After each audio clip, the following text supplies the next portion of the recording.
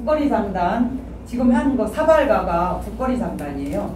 국거리 장단인데 여기 지금 요게 뭔지는 아시죠? 요거를 정간보라 그래요. 요거 요게 정간보예요. 정간보. 요게 우리나라 요거는 우리나라 악보예요. 요게 요거는 서양 악보잖아요. 요거 요거는 서양 악보죠. 요거는 우리나라 악보예요. 우리나라 악보는 이렇게 생겼어요. 근데 참 희한하죠. 그냥 칸으로만 돼 있어요. 칸으로만 돼 있는데 이걸 갖다가 길이를 길이를 갖다가 이제 요거로다가 알 수 있고 그러면 정관본을 누가 만들었다고? 세종대왕이 예, 우리나라 최초로 이제 요거 정관본을 만드는 분이 세종대왕이에요. 예. 예, 국거리 장단은 8분의 12박이에요. 12박자예요. 12박자. 그러니까 서양 악보를 하면 이제 요거 요거고요. 밑에 있는 거. 음. 그러면 요게 부음으로 하면 덩기덕 쿵더러러러 쿵기덕 쿵더러러러예요. 덩기덕 부음으로 먼저 시작. 덩기덕 쿵더러러 쿵기덕 쿵더러러 그렇죠. 덩기덕 쿵더러러러 쿵기덕 쿵더러러러 시작. 덩기덕 쿵더러러 쿵기덕 쿵더러러. 여기다가 왜 해놨냐면은 이거 요 표시는 반주장부는 이게 이제 강약이 강약이 섭박에서 섭박 덩에서 세게 쳐요.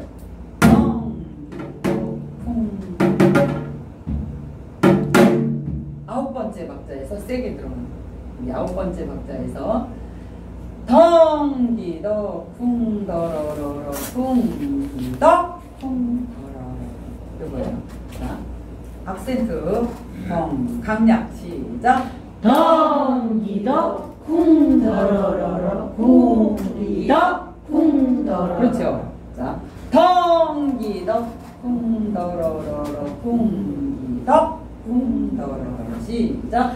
덩기덕 쿵더러러 쿵기덕 쿵더러러 네, 요거예요. 강약만 조절하시면 되고 이 반주 장구에서는 국거리 장단만 하실 줄 아시면 다른 장단은 쉬워요. 국거리 장단이 제일 어려운 것 같아요.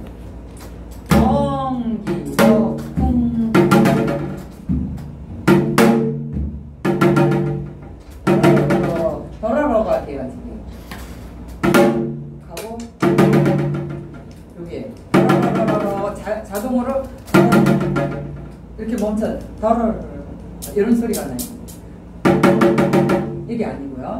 자, 덩기덕 쿵덕 장구로 시작.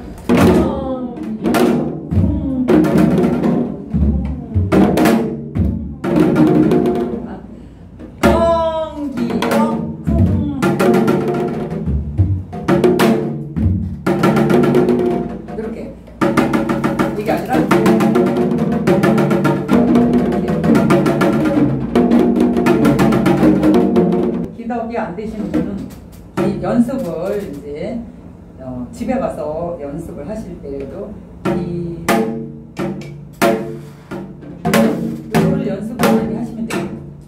그냥 이렇게 톡 쳐. 요거 요렇게 여기 요렇게 잡았잖아. 그러면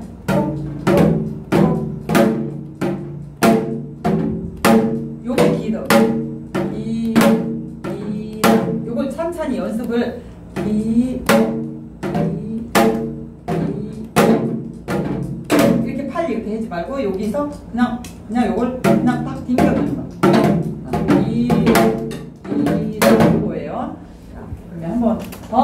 덩기더 쿵더러러 쿵기더 쿵더러러 다시 한번 시작.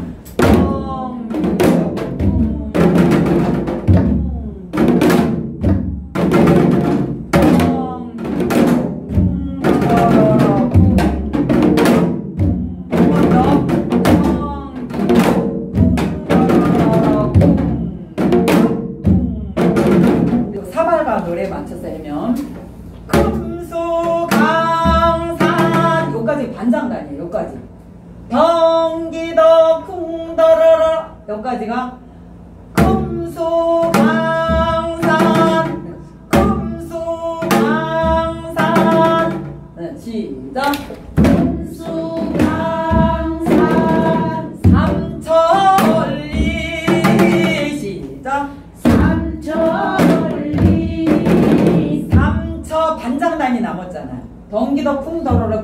쿵더러러인데 금소강산 여기까지 반장단이 왔으니까 여기 반장단을 또 해야지.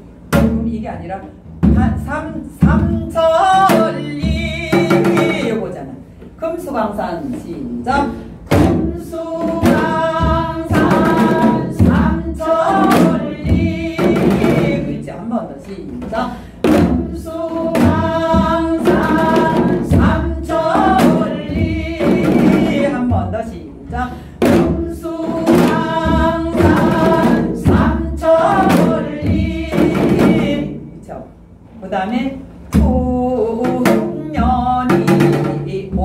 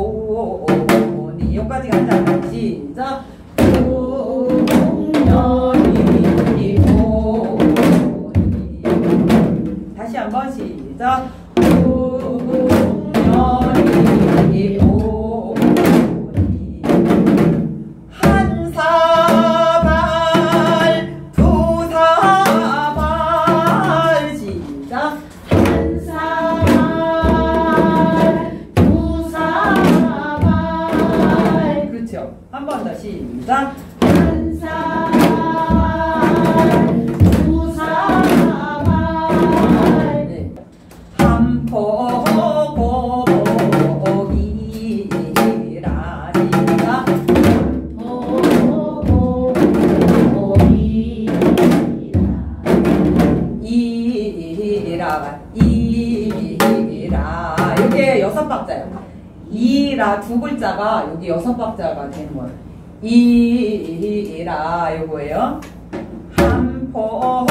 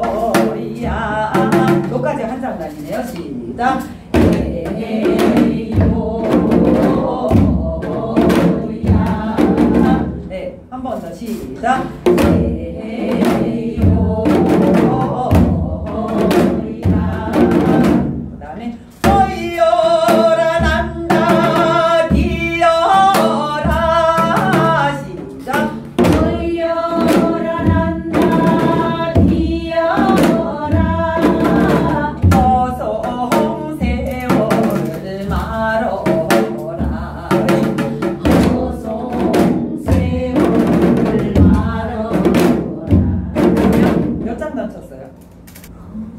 이거 한참 계산해야지 네? 세장 다 쳤잖아 세 장 다 그죠? 열두 박자씩 이걸 지금 세 번 친 거예요 음. 자 금수강산서부터 거기까지 시작 금수강산 삼천